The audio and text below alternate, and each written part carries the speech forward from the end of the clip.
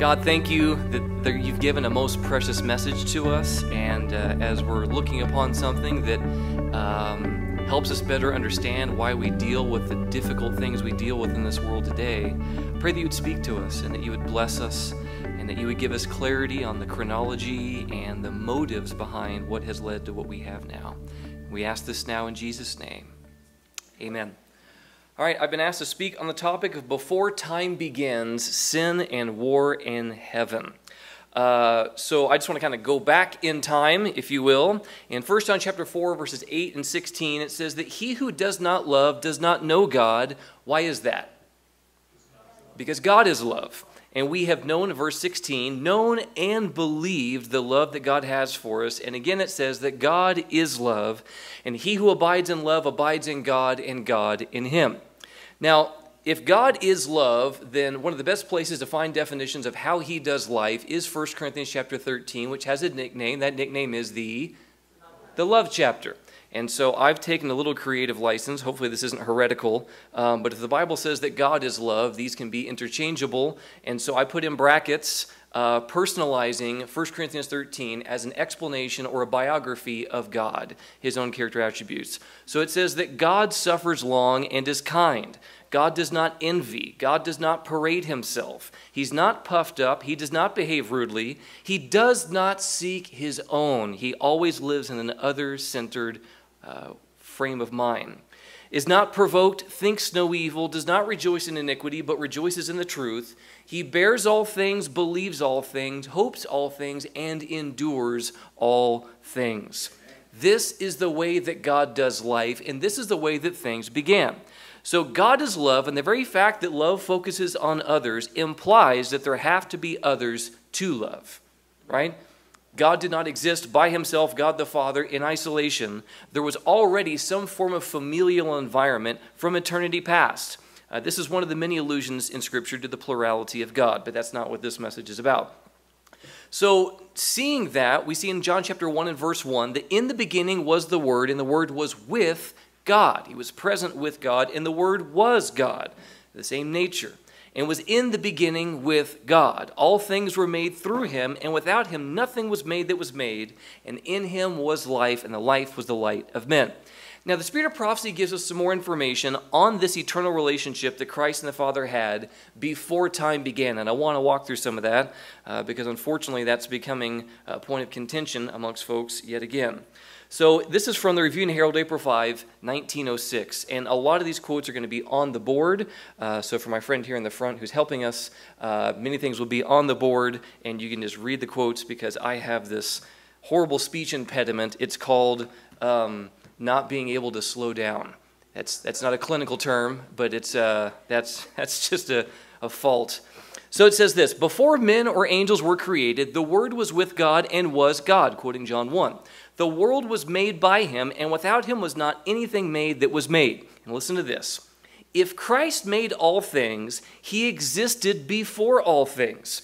The words spoken in regard to this are so decisive that no one need be left in doubt. Christ was God essentially and in the highest sense. He was with God from how long?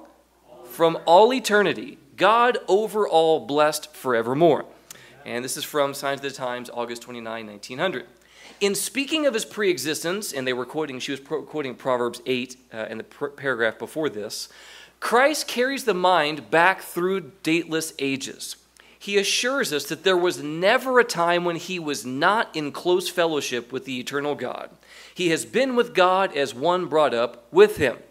But a time came when the Father and the Son decided to expand that family and the Spirit and the angelic beings were created. Patriarchs and Prophets, page 34. The Father wrought by his Son in the creation of all heavenly beings. By him were all things created, whether they be thrones or dominions or principalities or powers. All things were created by him and for him. Continuing this thought from Signs of the Times, 1898. When the Lord created these angelic beings to stand before his throne, they were beautiful and glorious. Their loveliness and holiness were equal to their exalted station. They were enriched by the wisdom of God and girded with the panoply of heaven. One of these that was created was Lucifer. And I saw a statement last night when researching I've never seen before and kind of shook me a little bit. This is Review and Herald, September 24, 1901. God made him, Lucifer, good and beautiful, as near as possible like himself. Yo, that's incredible, isn't it? All right, continuing on. Sabbath school worker, March 1, 1893. God had made him, Lucifer, noble, had given him rich endowments. He gave him a high, responsible position. He asked of him nothing that was unreasonable. And this is such an important point because what eventually happens later is this idea that God is arbitrary, that his commands are ridiculous and restrictive. But God asked nothing of him that was unreasonable, we're told. He was to administer the trust given him of God in a spirit of meekness and devotion, seeking to promote the glory of God who had given him glory and beauty and loveliness. This is from 4SP 317. Though God had created Lucifer noble and beautiful, and had exalted him to high honor among the angelic host, yet he had not placed him beyond the possibility of evil. It was in Satan's power. She uses his names interchangeably as far as the chronology of Lucifer's experience. He was created Lucifer, became Satan. She will use those interchangeably, so these are not necessarily chronological statements, just to make that clear. But it was in Satan's power, and did he choose to do so to pervert these gifts? right? Because the Bible says that God is love, and for love to be meaningful, there has to be freedom to choose. And this is one of those things that can happen. That possibility was there. It's from the story of redemption. Lucifer in heaven, before his rebellion, was a high and exalted angel, next in honor to God's dear Son. His countenance, like those of the other angels, was mild and expressive of happiness. His forehead was high and broad, showing a powerful intellect.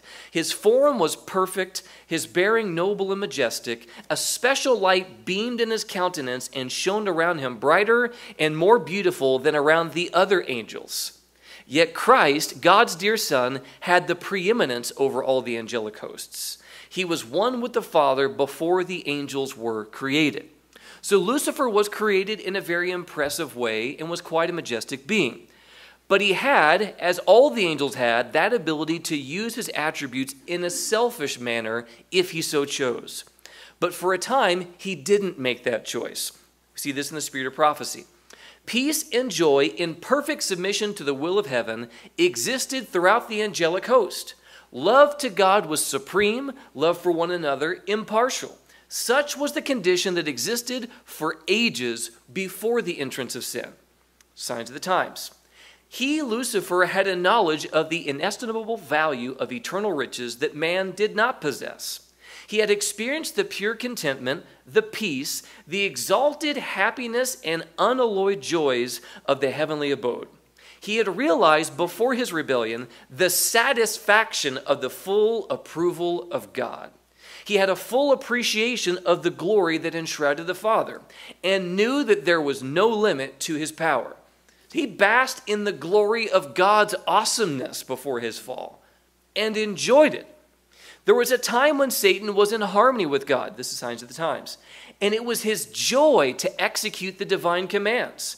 His heart was filled with love and joy in serving his Creator until he began to think that his wisdom was not derived from God, but was inherent in himself. And that he was as worthy as was God to receive honor and power. Do we face that same danger today? People in ministry, people doing the Lord's work, doing powerful things in the name of the Lord, and we can forget, right? We don't continue in abdicating our throne, we jump on the throne and say, Is this not great Babylon, which I have built, right? And our own spiritual experiences. Signs of the times.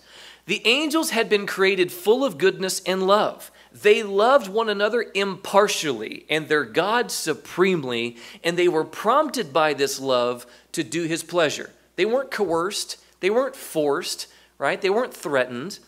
The law of God was not a grievous yoke to them, but it was their delight to do his commandments, to hearken unto the voice of his word. But in this state of peace and purity, Sin originated with him who had been perfect in all his ways. And there's dissonance there, isn't there?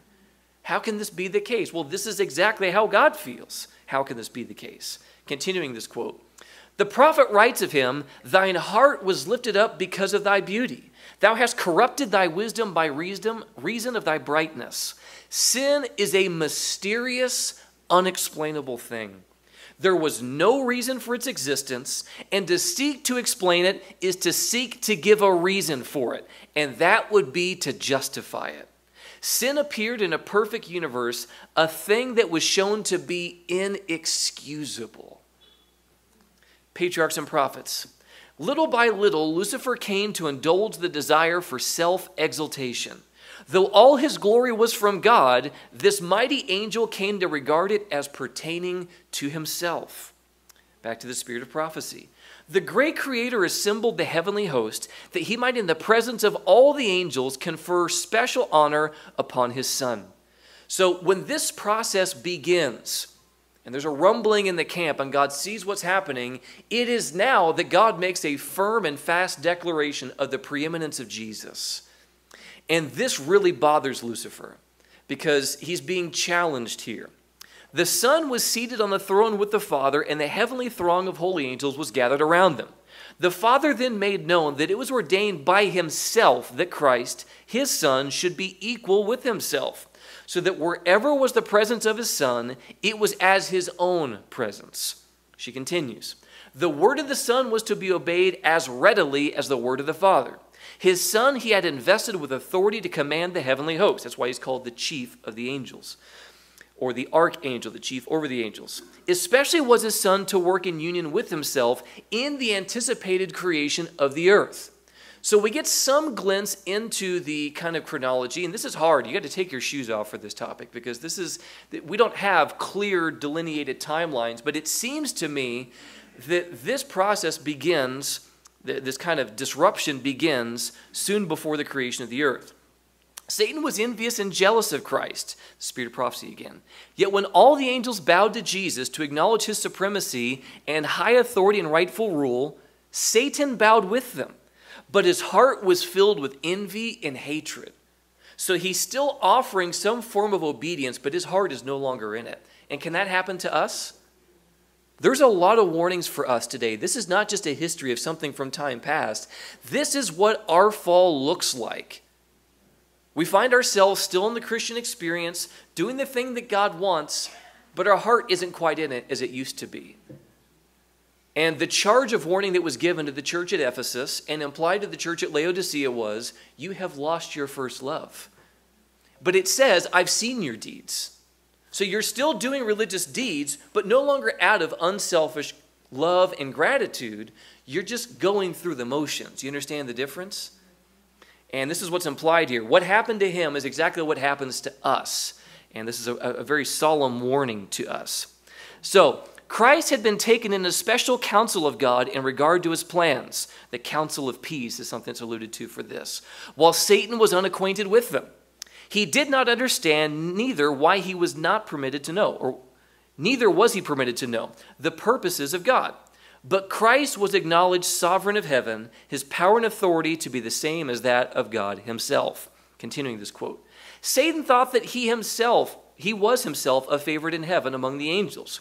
He had been highly exalted, but he aspired to the height of God himself.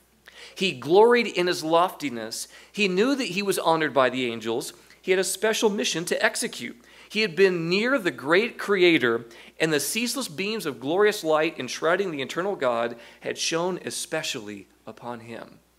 That cherub who covers, as it says in Psalm 18, verse 1, you who dwell between the cherubim shine forth. Right? This is someone who's in the immediate presence of God, and this is drawn out in a later text we'll come up to. Satan thought how angels had obeyed his command with pleasurable alacrity, and there were, were not his garments light and beautiful? Why should Christ thus be honored before himself? Review and Herald. Satan had been ambitious for the more exalted honors which God had bestowed upon his Son. He became envious of Christ and represented to the angels who honored him as covering cherub that he had not the honor conferred upon him which his position demanded.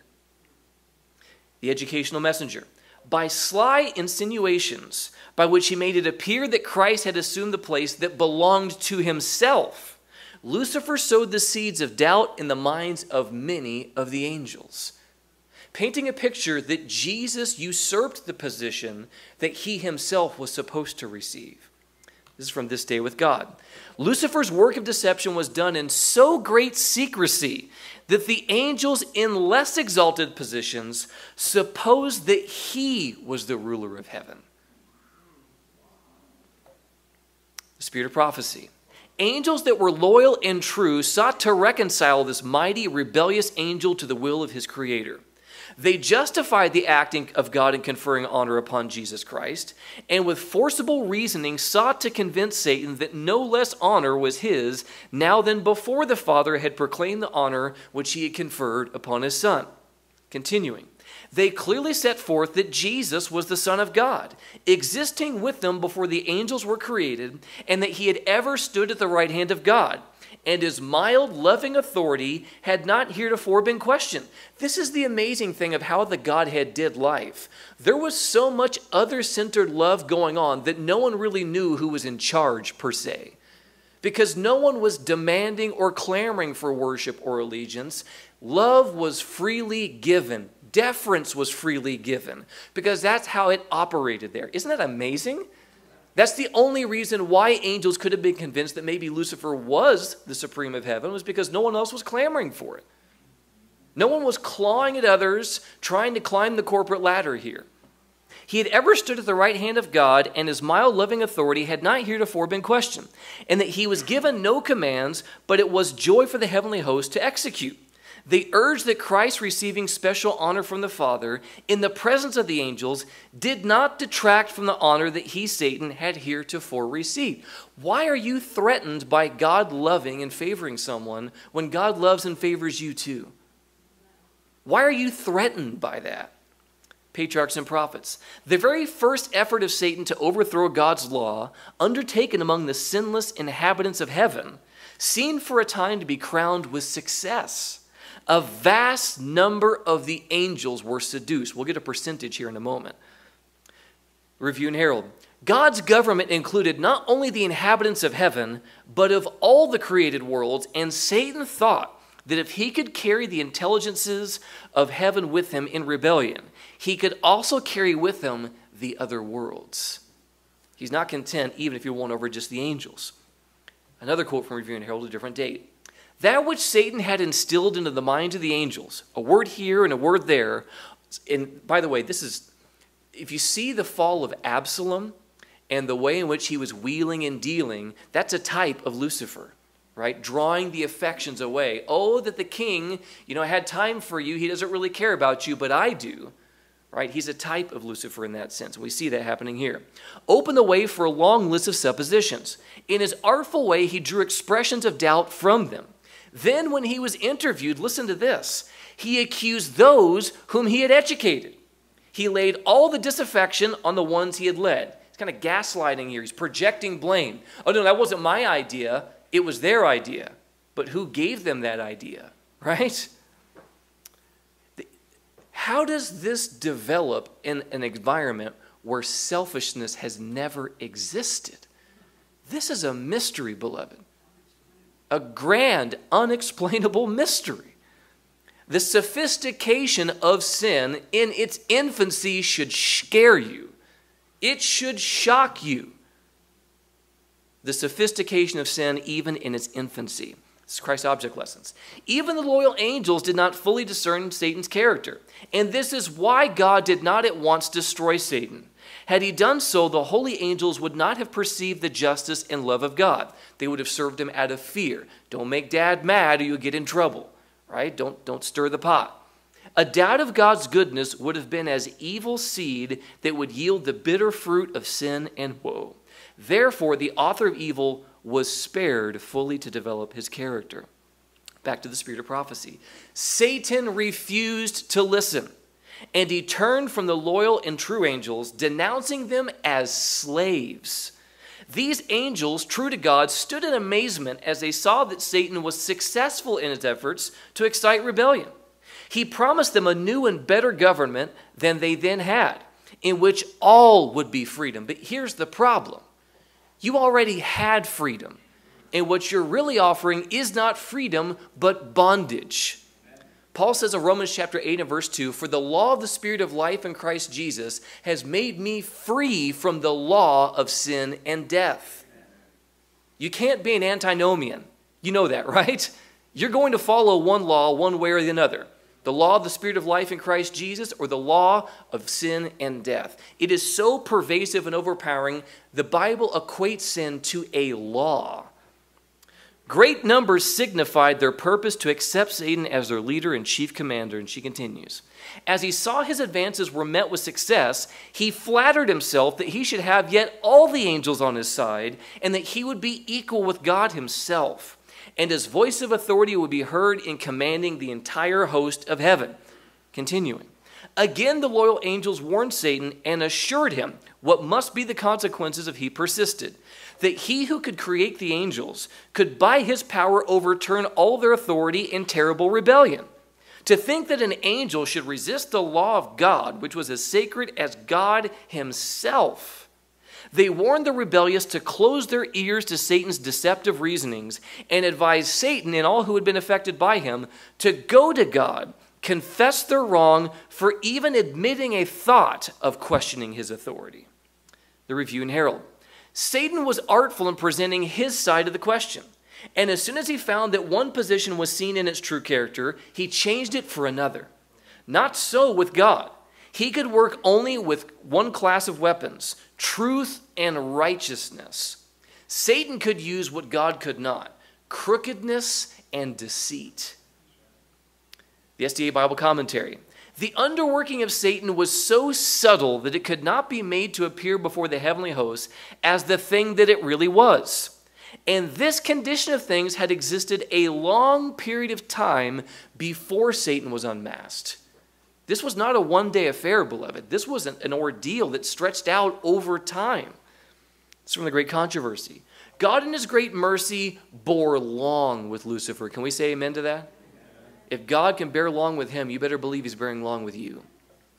He was not immediately degraded from his exalted station when he first indulged the spirit of discontent, not even when he began to present his false claims before the loyal angels. Long was he retained in heaven. There's multiple terms used here that imply this was a, a span of time. Again and again, he was offered pardon on condition of repentance and submission. He could have come back. He could have changed course. God was willing to give him that. Patriarchs and prophets. The spirit of discontent and disaffection had never before been known in heaven. It was a new element, strange, mysterious, and unaccountable. Lucifer himself had not at first been acquainted with the real nature of his feelings. He didn't fully grasp what was going on initially. And for a time, he had feared to express the workings and imaginings of his mind. Yet he did not dismiss them. And that's where you and I can get in trouble, right? I think Spurgeon phrased it this way that you can't stop the birds from flying overhead, but you can stop them from building a nest in your hair, right? You got to nip that thing in the bud. He did not dismiss them. He did not see whither he was drifting, continuing in Patriarchs and Prophets. But such efforts as infinite love and wisdom only could devise were made to convince him of his error. His disaffection was proved to be without cause and he was made to see what would be the result of persisting in revolt. He was convicted. He saw that he was wrong. And again, there's lessons here for us. What do you do when you're convicted? Do you harden yourself? Do you become more grizzled? Or do you give in and respond to the pleading grace of God? Because God didn't do this to kick the guy out. God do this, did this to try to keep him. Are you understanding? This is so important that when you're convicted, that is not God saying, I don't like you. That is God's appeal of love saying, I don't want to lose you.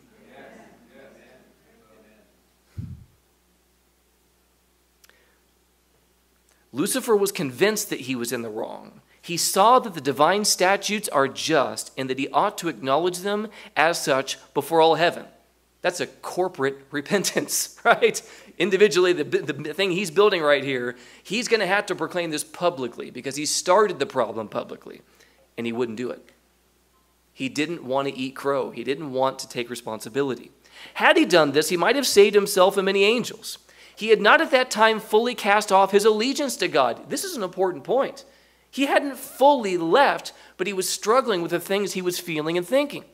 Though he had left his position as covering cherub, yet if he had been willing to return to God, acknowledging the Creator's wisdom and satisfied to fill the place appointed him in God's great plan, he would have been reinstated in his office. The time had come for a final decision. He must fully yield to the divine sovereignty or place himself in open rebellion. And he nearly reached the decision to return, but what happened? Pride forbade him. Guys, that's us. I hope you're seeing yourself in the mirror today. This is us. The reason why we don't find healing and reconciliation and restoration is not because God's hand is not stretched out still. It's pride. It's pride. Spirit of prophecy. The loyal angels hasten speedily to the Son of God and acquaint him with what's taking place among the angels. They find the Father in conference with his beloved Son to determine the means by which, for the best good of the loyal angels, they assumed authority of Satan could be forever put down. The great God could at once have hurled this arch deceiver from heaven, but this was not his purpose. He would give the rebellious an equal chance to measure strength and might with his own son and his loyal angels. There's a challenge that's been issued here. In this battle, every angel would choose his own side and be manifested to all. Continuing. Many of Satan's sympathizers were inclined to heed the counsel of the loyal angels and repent of their dissatisfaction and be again received to the confidence of the Father and his dear Son. The mighty revolter then declared that he was acquainted with God's law, and if he should submit to servile obedience, his honor would be taken from him. No more would he be entrusted with his exalted mission. But that's not true. He could have been restored to the same position. He told them, he told them that himself and they also had now gone too far to go back. How many believers are doing that to themselves right now? Believing the lie of Satan that I have gone too far to go back, so I might as well keep it moving. Where do you think those thoughts come from? For to bow and servile uh, too far to gone back, and he would brave the consequences. I would rather face the consequences than face the fact that I have been wrong. For to bow in servile worship to the Son of God, he never would. That God would not forgive, and now they must assert their liberty and gain by force the position and authority which was not willingly accorded them.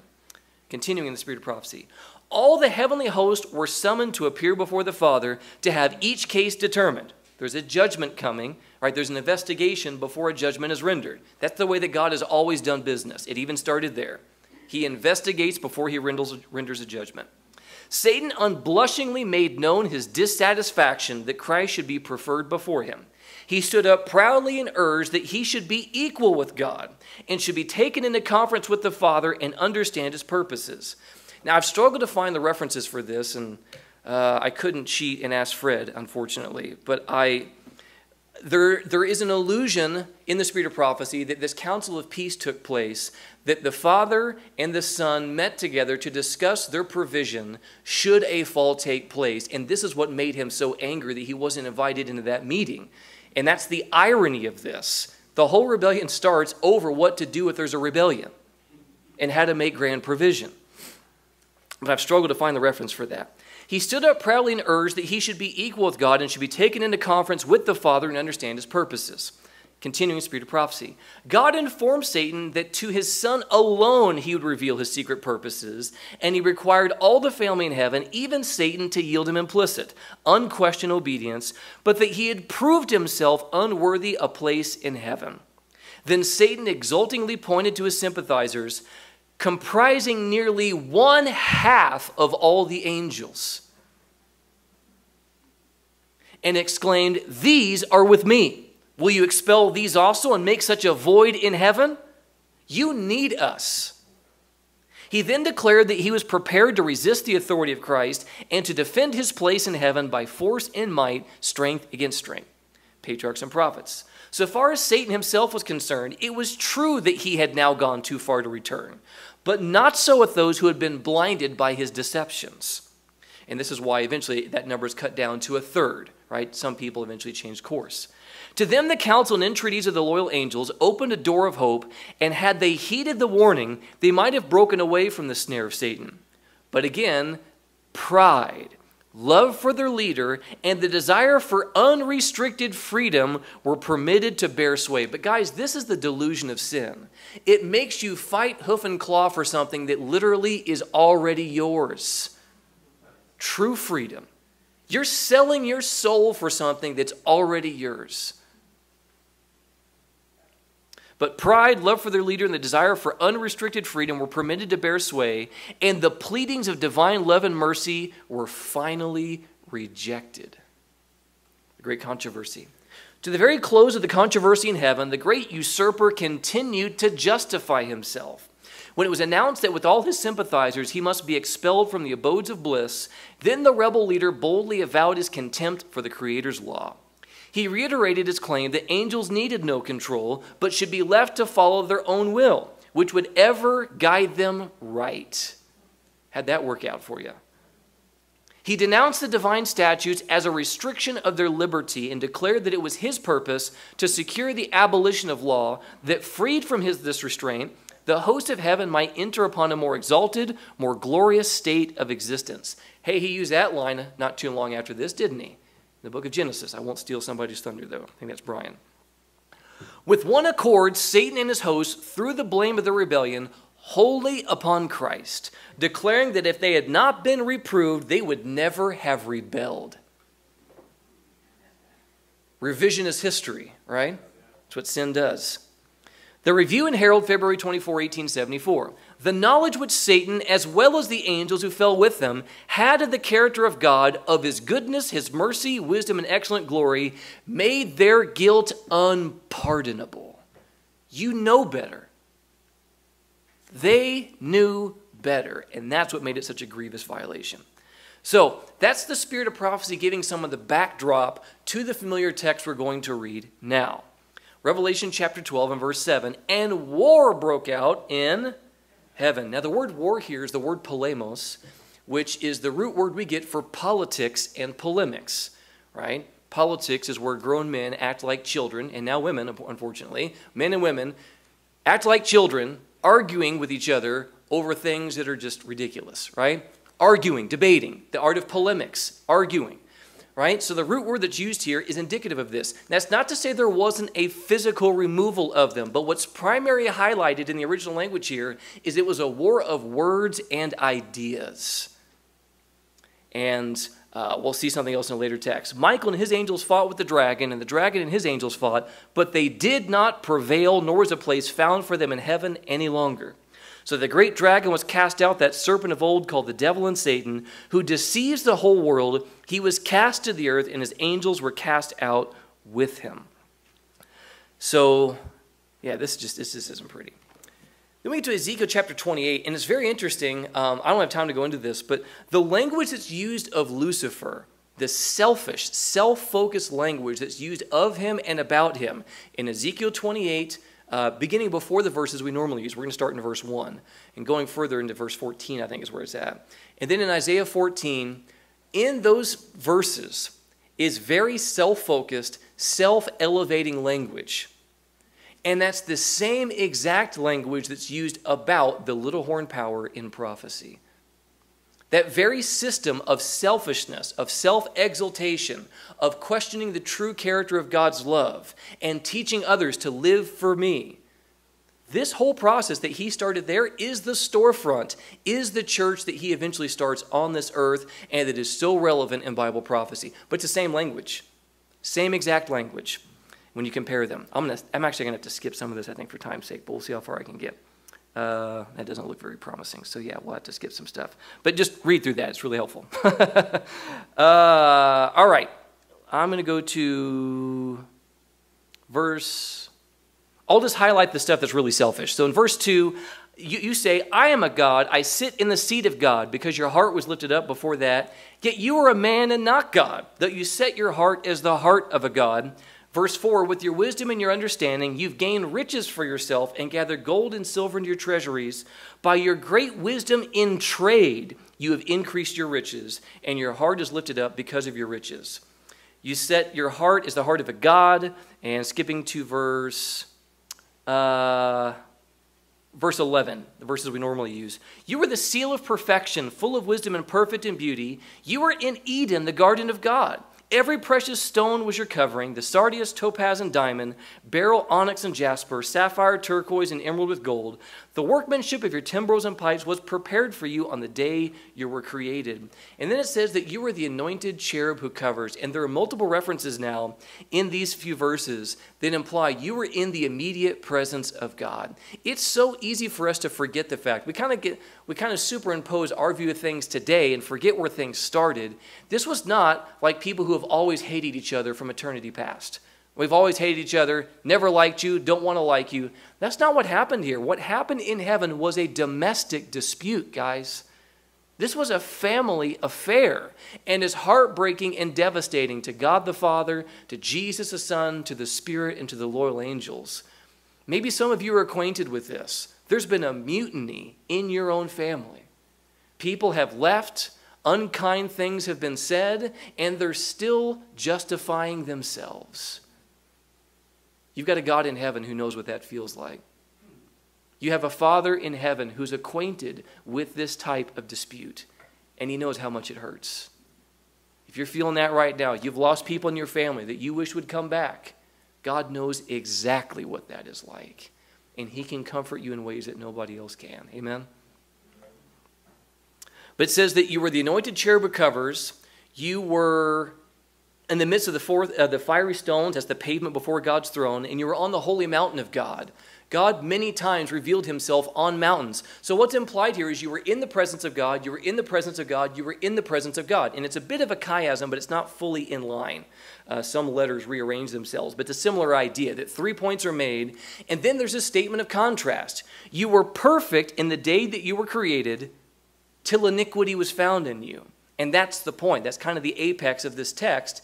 And then it says, Because iniquity was found in you, you were no longer the carrot, you were destroyed as the covering cherub. Verse, yeah, 16. I cast you as a profane thing out of the mountain of God. I destroyed you a covering cherub from the midst of the fiery stone. So you were in the presence of God, in the presence of God, in the presence of God. You were perfect, but iniquity was found in you. The point of transition is now you were removed from the presence of God. Removed from the presence of God, removed from the presence of God. And it says that the iniquity of his trading is used twice in Ezekiel chapter 28. And that word for trading here is the word rakula. It's basically trafficking or gossiping. It was merchandising. Right? He was selling things about the character of God that led to this troubling situation. And we're familiar with Isaiah chapter 14. I will exalt myself above the stars of God. I will exalt, oh, so forth. All these upward words. He had upward ambitions. But it's very interesting because there are five, there are actually 11 upward words that are used in Isaiah chapter 14. But he, he wants to go up, up, up, up, up at the expense of everyone else. But in the end, he's going to be cast down and destroyed, we're told. But you see this in contrast to Jesus, who in Philippians chapter 2 humbled himself and became obedient even to the point of death, even the death of a cross. Jesus comes down, down, down for the uplifting of everyone else. And in turn, every knee will bow and declare that Jesus Christ is righteous, holy, just, and good. The two sides of the great controversy are very clear. One is operating under the premises of selfishness and the other is operating under other centered love. This is the battlefield. This is the way the great controversy is being played out. And a spirit of selfishness, self exaltation, pride, envy, and striving for advancement is a spirit that originates with Lucifer and self justification, if I didn't put that in there. This cannot be the spirit that rules the people of God, and we desperately need Jesus and his spirit of humility, gentleness, unselfishness, and a willingness to be overlooked and unappreciated. We need to have that same spirit. But I want to close uh, with an idea here as far as our last text and make some brief points. What was heaven's reaction to the spirit that overtook Lucifer and the subsequent actions that he took? One of my favorite verses is in Luke chapter 10. So Jesus sends the 70 missionaries out to go preach the gospel, heal the sick, cast out demons. And they come back and they are excited. They are stoked. And they're snapping their suspenders and say, Jesus, even the demons are subject to us in your name. And you would think that maybe Jesus would be excited about this. Way to go, fellas. But the response of Jesus is so unexpected and seemingly odd if you don't understand the whole background that we've been covering this morning. Jesus says, I saw Satan fall like lightning from heaven. What does that have to do with anything, Jesus? Everything, actually. When this rebellion happened, I was there. I watched my family self destruct before my very eyes, and it still grieves me. And these demons that you're casting out weren't always demons, they were my family, they were my children. I created them. And I think this is super important for us to grasp. We completely divorce God's heart when we discuss this topic. Satan's such a bad guy, and he is. He is full of vileness, but let's not negate the fact that when you have a family that you create in love, just because they're doing things that you hate, it's very difficult for you to still hate them. Are you with me? Your kids may do things that you hate right now, but you don't hate them. And there's a line of distinction that I think is drawn here, and, and, and, a peek behind the veil into the heart of God that's very important for us. And I'm saying he's sympathizing with Satan or any of that. He has made a final decision and he will be judged firmly. But you cannot negate the fact that it's one of your kids. They don't stop being your kids when bad things happen. Are you understanding?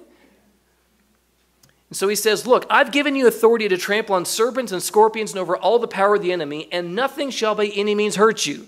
But nevertheless, do not rejoice in this, that the spirits are subject to you, but rather rejoice because your names are written in heaven.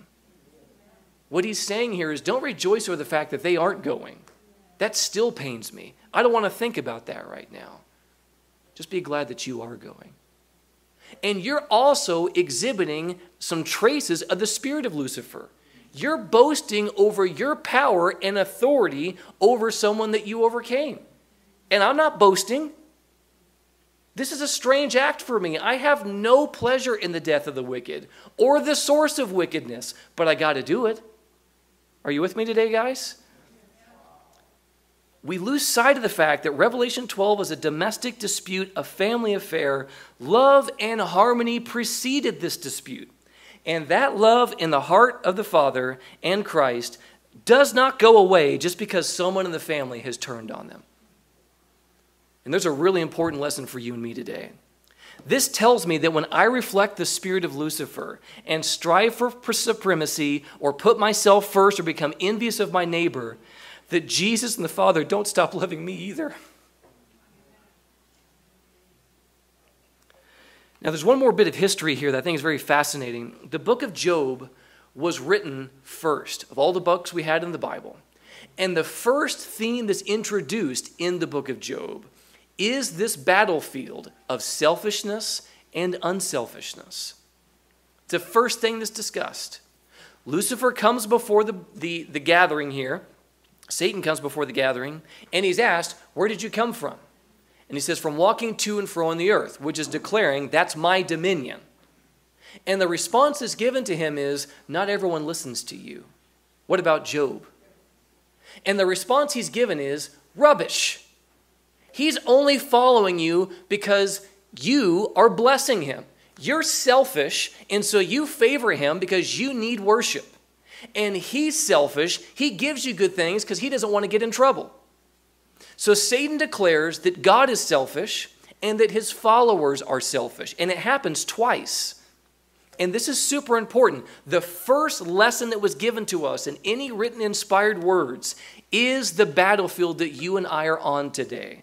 Yes, there's a war that started in heaven, but it ain't over, folks. It's still going on, and it's over this issue selfishness and other centered love. And the question is, how are we going to choose to do life? God's not threatened by these accusations, by the way. He's never threatened. Why? Because he's fully secure in who he is. You want to know why we get so easily offended? It's our insecurity. Jesus was never insecure. Jesus knew who he was. You can call me fat, you can call me ugly, you can call me dumb, you can call me a Nazarene, you can call me whatever you want. Somebody from Nazareth, can any good, anything good come from Nazareth? It doesn't matter what you call me because my self worth is not based upon what you think of me.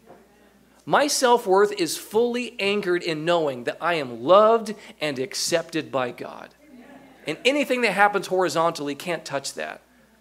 And this is the reason that Jesus is wanting that same security to be in yours experience and in mine.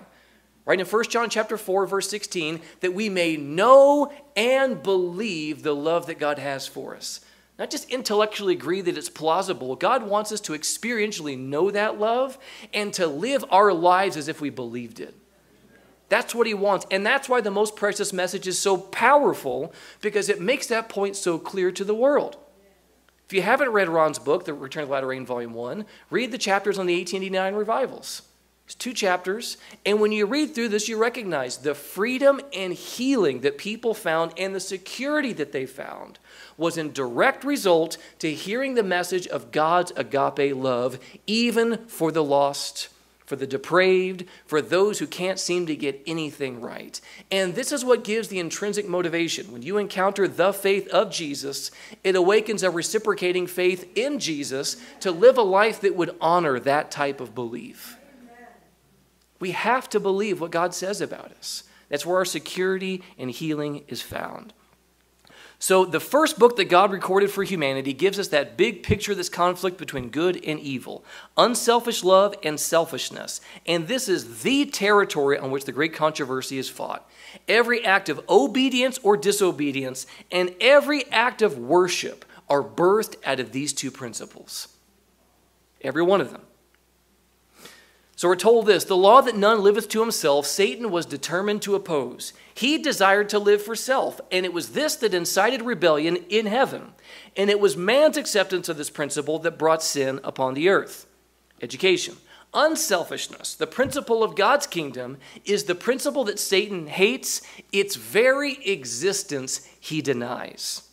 From the beginning of the great controversy, Satan has endeavored to prove God's principles of action to be selfish and he deals in the same way with all who serve God. You're selfish, and we saw that illusion in Job.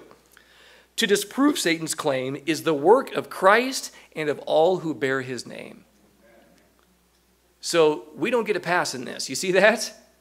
The true call of a Christian, of a disciple of Jesus, is to live a life that is outward focused. This is for the uplifting and upbuilding of those around us. It was to give in his own life, speaking of Jesus, an illustration of unselfishness that Jesus came in the form of humanity. He lived a perfectly unselfish life in human flesh, not to show off, but to now give you access to that same type of life through the outpouring of the Spirit. Amen? That's true righteousness by faith. And all who accept this principle are to be workers together with him in demonstrating it in the practical life. That's your call, parents. at your call, spouses, and all of us, right? To, to plead with God for the humility of Christ, the othered centered agape love of Jesus. So, from the very beginning of the rebellion, Satan has sought to portray God as being selfish, while at the same time alluring others to live for themselves and abide by his kingdom principle. And that campaign is still alive and well today, unfortunately. It ain't over yet, folks. But the good news is that the war has been won by a completely different approach and worldview. Going back to 1 Corinthians 13, God suffers long and is kind. God does not envy. God does not parade himself. He's not puffed up. He does not behave rudely. He does not seek his own, is not provoked. Don't these verses take a totally different meaning after reading what happened in heaven? Not easily provoked, is long suffering, thinks no evil, does not rejoice in iniquity, but rejoices in the truth, bears all things, believes all things, hopes all things, and endures all things. This is the way that things began. God is love. And the very fact that love focuses on others implies that there have to have been others to show that love to. So here's the good news, beloved agape wins. Amen. Let's pray. God in heaven, I thank you for loving us so much. I thank you that you even loved those who have started this whole scenario. You're not showing sympathy, you're not enabling, but Lord, you truly have a fountain of love that has never run dry, even in the face of anger, of lies, of accusation, of betrayal, of projection, of foolishness. And yet you just keep loving. Jesus, you said in John chapter 14, I believe, that if you've seen me, you've seen the Father. And in John chapter 13, verse 1, we're told that Jesus came into the world and he loved us to the end. That having loved his own who were in the world, he loved them to the end. And Lord, you're going to love Lucifer to the end when he's fully destroyed. You're going to love me to the end wherever I find myself. But I want to be in that city. I believe that's the same for all of us who are here today. And Lord, I pray that you would sweep us off our feet, that we would know and believe the love that God has for us, and that that would empower us to live a life that's no longer insecure and selfish, but one that is confident, courageous, and winsome. This is our prayer today, Lord, and we ask this in Jesus' name. Amen.